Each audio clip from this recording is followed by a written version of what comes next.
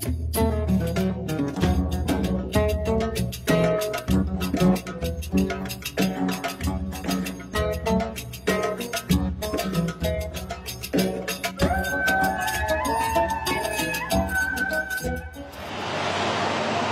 عليكم ورحمة الله تعالى وبركاته.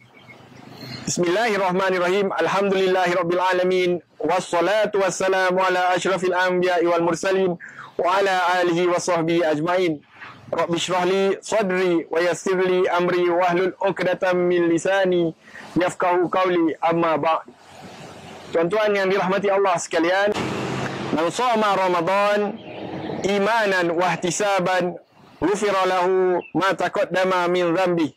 Yang mana maksudnya barang siapa yang berpuasa di bulan Ramadan dengan ikhlas dan sentiasa mengharapkan keredaan Allah maka akan diampunkan segala dosa-dosanya yang kecil.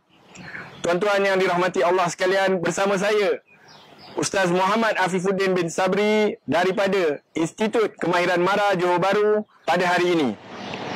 InsyaAllah tuan-tuan, andai ini Ramadan kita yang terakhir tuan-tuan, tidak malukah kita sekiranya tiada apa yang hendak kita tunjukkan kepada Allah Subhanahu Wa Taala.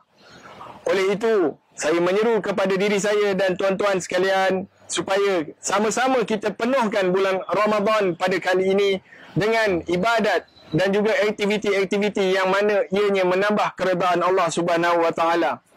Tuan-tuan yang dirahmati Allah sekalian, sekiranya sebelum ini kita tidak pandai membaca Al-Quran, ayolah sama-sama kita belajar supaya pada Ramadan kali ini kita dapat belajar dan pandai membaca Al-Quran. Sekiranya sebelum ini kita hanya mampu membaca satu atau dua muka surat sahaja tuan-tuan, ayolah sama-sama kita berusaha supaya pada Ramadan kali ini kita dapat katamkan satu Al-Quran.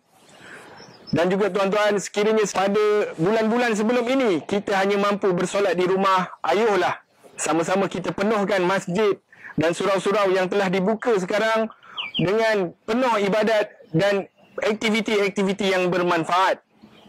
Tuan-tuan yang dirahmati Allah sekalian, sesungguhnya mereka yang sentiasa berusaha untuk menjadi baik akan dipermudahkan urusannya oleh Allah Subhanahu Wa Taala.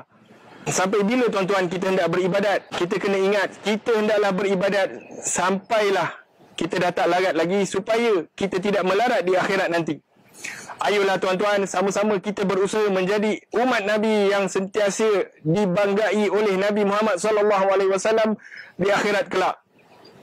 Oleh itu, semoga dengan video pendek kali ini dapat memberi manfaat kepada kita semua dan saya sudahi dengan Assalamualaikum warahmatullahi taala wabarakatuh.